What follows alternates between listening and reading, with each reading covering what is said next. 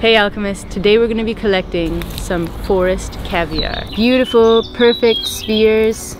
This is the Allium paradoxum and the clone of this particular plant. It's not actually its seeds, it is a clone of its very own self. And it makes this beautiful little circular onion ball. And these we're going to put in our very own homemade vinegar to preserve for many more seasons to come. So I'm cleaning them, just sort of moving them around, allowing the flower heads to dry off.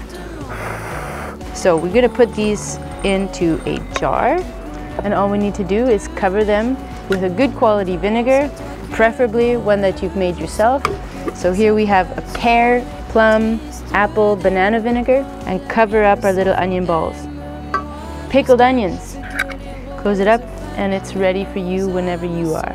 Here we have some finished projects from 2020, 2021, and also already this year. So here we have some balsamic, um, here we have some pineapple vinegar, and we have some other plum pear vinegar that we've made in a previous video.